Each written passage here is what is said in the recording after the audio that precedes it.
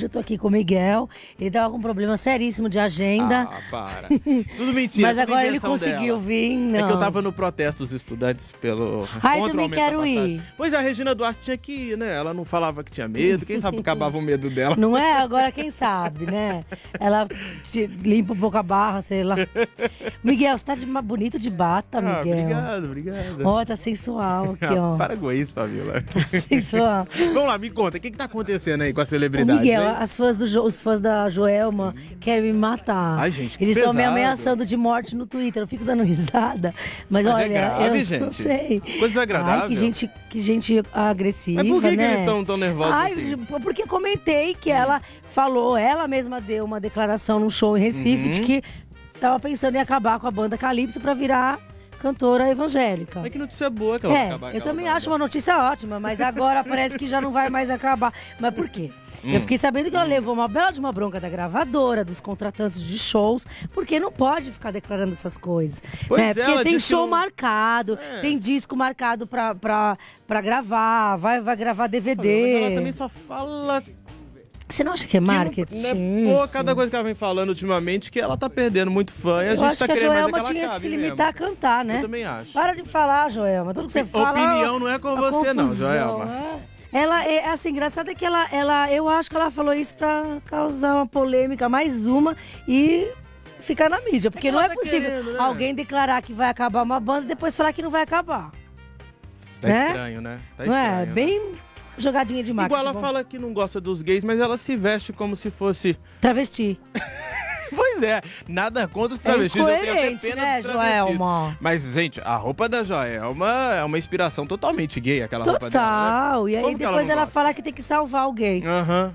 Tem que, sei lá, como é que faz? Dá remédio? Ah, pra lá. Como faz pra salvar alguém? Dá Ah, remédio? Depois ela tem que ensinar. Dá né? injeção? É difícil, né? Sei lá. Prende Joelma. na... Sabe o que a Joelma tem que fazer? Ah. Ficar quieta na casa dela. Pronto. Ou então canta, só não... Bom, deixa pra lá. Deixa pra lá. Ô, Fabiola, tá tendo barraco lá na Globo? Então, o Wolf Maia e o Valcir Carrasco continuam se estranhando. Tem uma pessoa, né, que conhece o Wolf, comentou comigo, de que assim, né, ele tá fingindo que tá tudo bem, porque a Globo mandou eles fingirem que tá tudo bem pra não começar aquele falatório já, que a novela já tá começando com climão nos bastidores. Não tá uma grande audiência essa novela, né? Apesar que eu acho que a novela é muito boa. Esse negócio de Ibope é- é, Com o tempo, vai. É, o começo é, de novela e é mais medido aqui em São. Paulo e no resto do Brasil, né? Então é complicado falar de Ibope. Mas é, aí eles. é, O Wolf comentou com essa pessoa que eu conheço Hum. que a situação tá tão complicada que ele está tendo que mexer até nos, até mexer nos textos do Valcir. Porque o Valcir, ele é muito maldoso nos textos. Ele escreve umas coisas assim que pode causar rejeição ao público. Eita. Eu adoro quando ele é maldoso. É É, verdade. aquele Félix, a bicha amar, adoro. É Mas que o o- Valci é jornalista, né? Ele tem um texto de jornalista. ele né? tem, né? Ele já foi Jornalista- diretor da Contigo, não foi? Foi, diretor da Contigo. Então, aí isso é que o povo não, às vezes pode pegar um É pouco verdade. mal, A entendeu? novela talvez tenha que pegar um pouco mais leve, o público é bem maior. Então é isso aí. E o Wolf não tá gostando. Tomara que eles façam as pazes. É, dê a mãozinha os dois. Mãozinha? Mãozinha assim, ó. Ah, mãozinha. Isso. Mãozinha. A mãozinha. Então tá. Ô, Fabiola, o que, que você fez daquela loura lá, rica, do programa Mulheres Ricas da Band? Eu esqueci o nome dela, como é que é o nome dela mesmo? Ela tá meio Qual, apagada. Valdirene? A Valdirene! A Valdirene, a do Valdirene. frango. Ai, gente. Ela voltou pro Ela cara, voltou né? pro cara do frango. O frango, o frango, ó. O frango é o frango. O frango chamou a Valdirene de tudo quanto era nome. Agora Falou tá que ela era amando. prostituta de luxo. Eita! Aí ela não arrumou um marido mais rico que ele pra poder pagar as contas voltou com ele. Eita, entre Então, tapas e beijos esses aí. Né? Deixa ah, pra mas lá tá que... pagando as contas E aqui, ó, dela. que briga de marido e mulher, Ninguém mexe a colher. pronto. Não, aí eles foram numa festa lá no show do Daniel Bo- Boaventura, tava Uhum. ela, a Regina Mansur, já ficaram ali. Tiveram que dividir mesa, aí não tinha lugar pra Regina sentar. Ah, que aquela confusão toda. Aí eu conversei com a Regina, ela me disse o seguinte, eu vou ler aqui. Ah, Ela, não, ela, a Regina falando da Valdirene. Ah. Ela não parava de falar de grifes o tempo todo, disse a Regina. Hum. Mas estava com um vestidinho brega e bijuterias. Enquanto eu usava um terno Saint Laurent e essa- Yves Saint Laurent, Yves isso Saint Laurent. E um colar de pérolas verdadeiro, Ai, que comprados com meu dinheiro, não com o de marido rico. Ah, que Ai, elas ficam hein? disputando a roupa da marca da Ai, que roupa. preguiça. Vamos começar a olhar as nossas marcas, E Miguel? desde quando marca faz alguém, Ai, eu quero gente? saber qual é a marca Ai, da que bata do. Miguel. Ai, Aí é gente baratinho, chata. baratinho, isso aqui custou quase nada. Gente chata, Sabe né? quanto custou, Fabiola? Fala, 35 Miguel. reais, gente. Olha, dá uma volta, Tá Miguel. linda, tá? Fabiola, Eu gostei tá dessa bonita. bata, viu? 35 Gostei reais, mesmo, pô. aí. Tá? Tô melhor que a Val. E comprou com seu dinheiro, pronto. Ô, Fabiola, que história é essa que apresentador humilhou a funcionária? Ai, Miguel, você fala com o cara que tá com pena da funcionária, mas ri, né? Ai, Miguel, você é ruim. Coitadinha. Não, mas não Nada, é. Fabiola. Por que, que ele humilhou ela? Quem foi? É o Mário Frias. Mário Frias é um apresentador da Rede TV que faz aquele último passageiro. Bom, Ele Mário era da Frias Malhação, era quando de eu Malhação, assistia, já eu foi casado com a Niva Stelma. Eu lembro. Ele é o tipo de famoso que tem que usar crachá, porque se falar Mário Frias, ninguém sabe quem é. Como é que é? Tem que usar Tem o que quê? usar crachá, porque ninguém sabe quem é. Tipo a querida mamãe que colocava na escola pra É gente usar? isso, entendeu? Então pra não perder a criança, assim, uma pulseirinha. Então, aí ele, ele tava lá Vou na... falar sério, o que, que ele fez com essa menina? Tava lá na Rede TV e Uhum. alguém entrou no camarim dele. Assim, as, as moças que limpam, né? Que arrumam. E esqueceu de trancar. Gente. Tudo bem, de repente pudesse ter alguma coisa lá dentro que ele não quisesse que ninguém mexa. Ele até que teria razão dele se ele não tivesse sido tão grosseiro. que que Aí uma, uma pessoa aqui, uma- um amigo meu que tava lá, que presenciou a cena, ele pegou, entrou na mesma hora no camarim da frente, chutou a porta e começou a falar, ah, quem mexeu no meu camarim, não sei o quê. Aí, bom, aí a pa- passou essa funcionária, né, que, que, que é a que cuida dos camarins. Ele virou e falou assim pra ela, quer ver, deixa eu, vou até vou ler aqui. Lê. Lê que eu quero saber. Ipsis literis, tudo. Ah, não sabe nem trabalhar direito.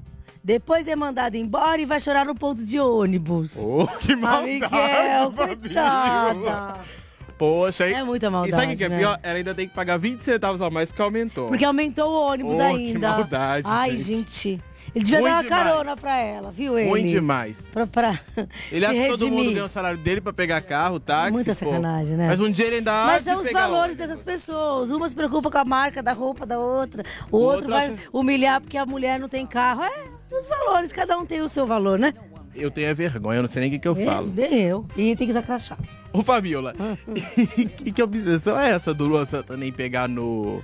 Pôr a mão lá, é né? de pôr a mão... Ele faz a dancinha, ele faz a musiquinha dele, showzinho, aí ele põe a Peraí, dancinha peraí, peraí, peraí, para tudo. Ele faz o quê? A dancinha, a mãozinha, a dancinha dele, aí ele taca a mão lá. E, e o Pra povo... que colocar a mão? Ah, não sei. Pra mostrar que é Aí, se viril? soubesse, lembra, se Ah. soubesse o que escrever, eu te contei. O comentário que colocaram no bloco, eu não pude Não vamos nem aprovar, comentar, ai, não vamos nem gente. falar aqui. E aí? Porque assim, teve uma, ele fez show numa festa junina lá da Portuguesa, aqui em São Paulo, sim, que é sim. muita criança, né? O show Família, dele. né? É, um ambiente bem familiar, festa junina, né? Aí ele ficou lá com essa mão, põe a mão. ele Com a põe mão lá no- Olha a foto aí, no- aí blog, ele punha a mão. E olha Aí aí, olha a mão. foto, gente. Ixi. Colocava a mãozinha e dançava e rebolava, não sei o. Rebolava muito? Parece a Gretchen. Ai, Bom, ele quer lá. tomar o posto da Gretchen. Aí depois os fãs dele ficam me xingando, falando que eu sou mal amada. Ah, e ele gente. sabe da minha vida. Eu sei da vida do Luan com os mínimos detalhes, viu, gente? Ai, deixa ele dançar, rebolar e botar a mão A mão lá. Põe a mão onde quiser aí. Deixa Só lá. comentei no blog, não tava falando em tom assim de julgar, de criticar. Ele coloca a mão onde ele quiser, tô nem aí. Mas, ô Fabiola, já que o assunto é hum, hum, colocar a mão no negocinho, tem gente que tirou a mão e mostrou o negocinho. O Caio Castro.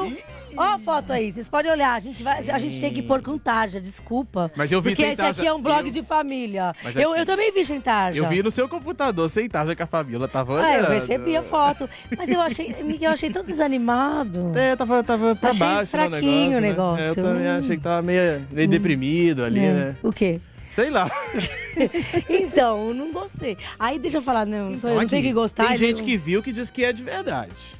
Não, a foto é. É uma foto dele, assim, fazendo. Eles têm mania de tirar foto no espelho, assim. Uhum. E eu fiquei sabendo que o Caio Castro tem mania de largar o celular em qualquer lugar, ele não bloqueia ali. tá. Então o pessoal pega as fotos e. Ai, caiu a fichinha. Caiu tudo, deixa cair. Ah, deixa no chão. Aí ele, ele, ele pega, quando ele fica com uma menina, ele pega a foto e manda. Mas ele manda uma foto assim, tão desanimada. É, Eu acho que ele devia mandar uma foto mais assim. mas animada, né? É, eu achei muito.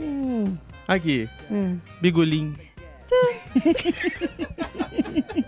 Ai, brincadeira, gente. Lá vem o pato, pataqui, patacolá, quen, quen.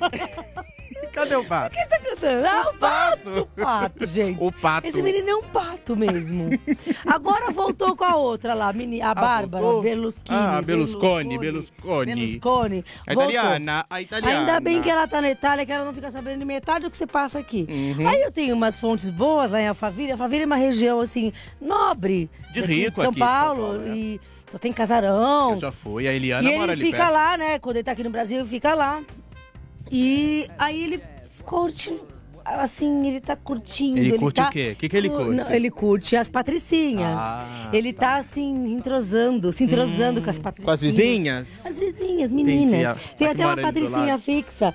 Mas aí ele. assim, E o que, que elas fazem, Agora, no dia dos Fabiola? namorados, postou foto que voltou com a, com a Bárbara. Eu não E- sei se elas aqui. têm sangue de barata. Elas vão ver filmezinho na casa dele, essas Ah, eu Não coisas? sei detalhes assim, Miguel, mas que vai que tá entrosado, tá, tá curtindo. Tá curtindo, Entendeu? tá curtindo. E aí eles pegam, por isso que eu falo. Aí fica todo mundo, os baba-ovo.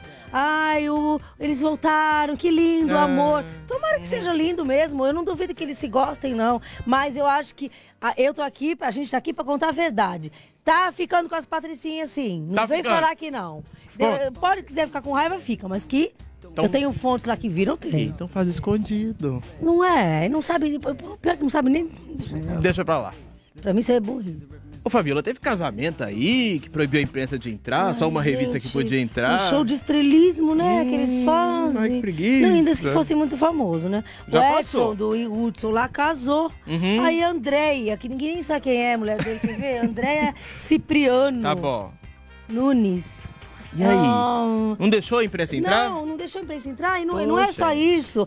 Até teria direito. Ela, ela teria direito de fazer um casamento privado. Claro. Só que aí pega, chama uma revista pra fazer com exclusividade. Ah, direito dela também. Mas assim, não, não maltrata quem tá na porta trabalhando. Eu também acho, Eu acho um absurdo. Aí o fotógrafo lá, aí ela passou assim, não abriu, virou a cara, não gente. abriu o vidro do carro. O Edson não, o Edson foi super simpático. Ah, porque, Tem até né? foto dele aí no blog com o anão. Cadê? O anão, tadinho, tentava Ô, pular. o anão Tentava foi. pular assim, sabe? Ele não alcançava Ô, a judiação. Não podia nem Não falar no alcançava. vidro do carro. Não, não de- ela não olhou na cara de ninguém. Mas o Edson abriu o vidro e falou com o anão, falou Pô, com um tem monte que de falar, gente. ele não é Edson famoso? outra coisa. Agora, ela pensa que é famosa, né? Uhum.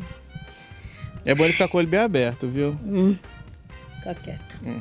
Então, Miguel, aí Ah. teve também o, o- No próprio casamento lá do, do Edson, o Gustavo Lima foi um dos padrinhos. Uhum. Ah, tá. E o Gustavo Lima tava na dele, deixou até o anão entrar no carro. Ele é bonzinho, Ele Gustavo é, Lima. ele é. Eu conheci ele, aqui na Record, ele é mesmo. verdade. Só que as pessoas que o rodeiam não são muito. Uhum. Aí tinha um cara lá que trabalha com ele, que virou pra imprensa, pros fotógrafos, falou assim: "Ah, o Gustavo Lima não precisa da imprensa. Como não precisa da imprensa? Poxa. E quando ele vai lançar disco, deixa essa imprensa se revoltar e ninguém publicar uma linha do que ele do, do disco dele, do DVD dele, você vai ver se vai vender. E outra, hoje ele tá no auge. E amanhã? E amanhã? O mundo dá voltas, Hum. viu? Um dia você vai precisar. E assim, aí você vai fazer um show, se não for divulgado em lugar nenhum. Vai ter público? Vai vender ingresso? Ele vai ganhar dinheiro? Um pouquinho de precisa humildade da é bom, imprensa, sim. A gente precisa deles, eles precisam da gente. Quer dizer, eu não preciso de ninguém, porque eu vou lá e falo mesmo, tô nem... Se quiser me dar entrevista, não dá, não precisa, não. É até melhor quando não dá entrevista, que a gente É até melhor que assim, eu não fico amiga de ninguém, não mantenho relação com ninguém, assim, não tenho. Tem isenção é, jornalística. É, é. Eu lembro que na faculdade o professor falava, mantenha distância, distanciamento. É bom. Não quer ser minha amiga, eu não quero mesmo. Ah, Tá nervosa, quero ser Fabiola, amiga hein, de gente? famoso. Olha, eu tenho o Miguel, tá meu amigo, eu tenho um monte de amigo, não preciso de amigo famoso. Pra quê, gente? preguiça, né? Hipocrisia, depois uma hora, aí, a hora que você não tá mais no, no- no jornal, no site, na TV, ninguém mais nem na tua cara, eles não são amigos de ninguém, não. Amigo famoso não é amigo não, gente. Quem pensa que tem amigo Deixa famoso aí. Deixa o povo pensar Olha que é só. famoso, né? Hum, né? A gente sabe muito bem o que a gente tá falando. Bom, o Ah. Miguel, lembra do, do Rômulo Arantes Neto, que é o atual namorado da Cleo Pires? Aquele que bateu no travesti. Teve um envolvimento com travesti. É uma coisa, é uma coisa tipo o Ronaldo, assim, que teve um problema. Diz que não sabia, né? É, Aham. não sabia. Tá bom. Ah, tá bom. confundiu. Hum, uhum. Ai, Miguel, confundiu. Ah, o Ronaldo confundiu por três horas, não foi? Ficou três horas confundindo ali. Mas, bom, deixa eu calar minha boca, vambora. Ai, não sei, você vai ver que o Rômulo ficou 40 minutos, eu não sei. É pra que, ele, mim, é que ele é mais Pra, rapidinho. pra né? mim, a confusão, você tira a confusão em questão de segundos. Ele é mais rapidinho, né? Então, Não aí... dura muito. Ai. Vale nada. Ou então o travesti, né? A gente não sabe. Vai saber quem que é mais rápido, Acho né? que era o travesti que foi rápido. Bom, e aí, me fala, o que aconteceu? Então, aí ele tá fazendo a novela Sangue Bom, que é a novela Ah, da agora ele é galã da Globo, É, né? ele é galã. Entendi. Ele é bonito mesmo. Aí, na, na novela, olha a provocação com ele. Hum. Eu, eu já soube que rolou uma vingancinha aí, mas eu não posso contar aqui.